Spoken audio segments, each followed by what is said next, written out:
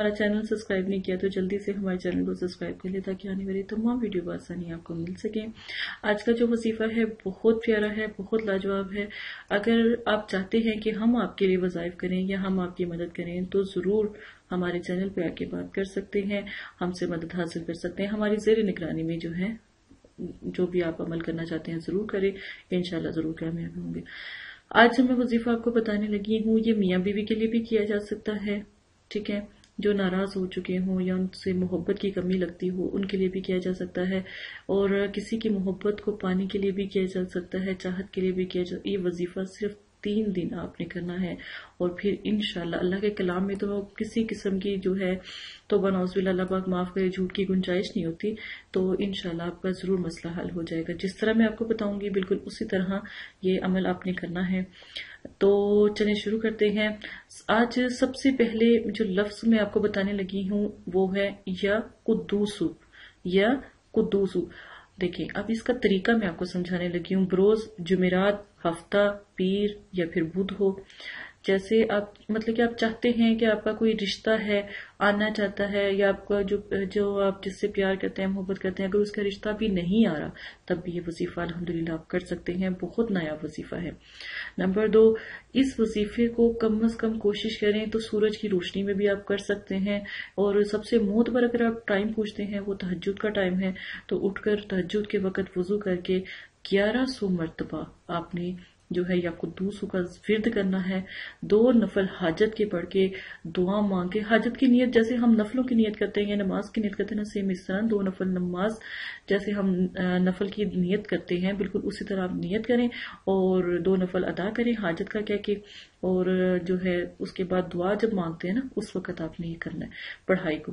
گیارہ سو مرتبہ آپ نے یا قطوسوں کا ذکر کرنا ہے اور اس کے بعد آپ نے دروشیف کم از کم ایک سو ایک مرتبہ پڑھ کے خوب دل لگا کے دعا مانگے، اپنے مقصد کی کامیابی کے لیے دعا مانگے۔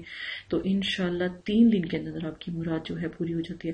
اگر کوئی میاں بیوی کا مسئلہ ہے، ناراضگی کا مسئلہ ہے، وہ آپ سے بات نہیں کرتے یا آپ سے روٹ گئے تو آپ یہ عمل کریں انشاءاللہ تب بھی کامیابی ہوگی۔ مطلب کہ یہ روٹو کو منانے کے لیے، ناراض جو ہے ان کو منانے کے لیے یا کسی بچی بچے کا رشتہ نہیں ہو رہا ہوتا، تو اس کو جو ہے آپس میں جوڑنے کے لیے یہ عمل کیا جاتا ہے۔ ماشاء اللہ ضرور کریں۔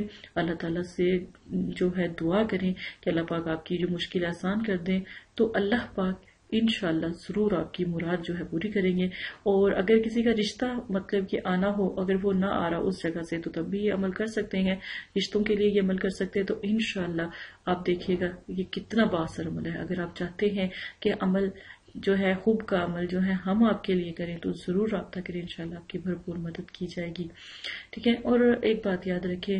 اور اگر دیکھیں، اگر تین دن میں آپ کا وہ رشتے کے لیے میں کہہ رہی ہوں، اگر تین دن میں رشتہ نہیں آتا ٹھیک ہے، تین دن میں جس پیارے کو آپ بلانا چاہتے ہیں، وہ نہیں آتا، تو کم از کم سات دن تک کریں۔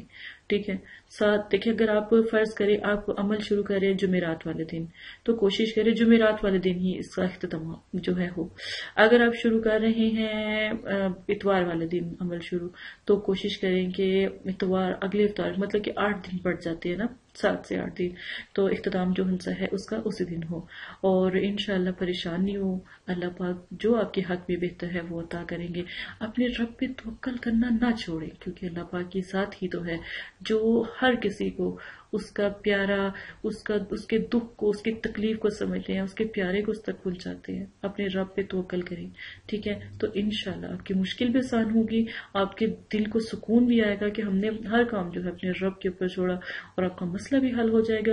اور سب سے بڑی بات ہے، اللہ پاک کا قرب بھی حاصل ہو جاتا ہے اس طرح، کیونکہ ذکر سے بھی اور تحجد کے ٹائم تو اللہ پاک ویسے ہی کہتے ہیں کہ اب دیکھیں نا آپ پانچ وقت اللہ پاک سے دعا کرتے ہیں، نماز پڑھتے ہیں، اللہ کی راہ میں رہتے ہیں۔ جب آپ تحجد میں اللہ تعالیٰ کو یاد کرتے ہیں تو اللہ پاک کہتے ہیں کہ پانچ وقت تو میرا بندہ مجھے پکار رہا ہوتا ہے نا۔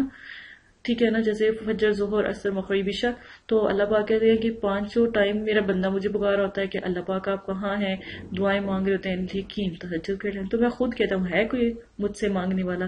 اللہ پاک آخری عرش پہ آ کے پھر لوگوں سے جو ہے مطلب کہتے ہیں کہ کوئی ہے میرا بندہ، کوئی ہے میرا نیک بندہ جو مجھ سے مانگے۔ تو انشاءاللہ دیکھیے گا۔ اس بہن کی بات مان کے عمل کریں، انشاءاللہ ضرور کامیابی ہوگی۔ اگر آپ ہم سے مدد لینا چاہتے ہیں تو انشاءاللہ ضرور مدد کی جائے گی، آپ کا ضرور ساتھ دیا جائے گا۔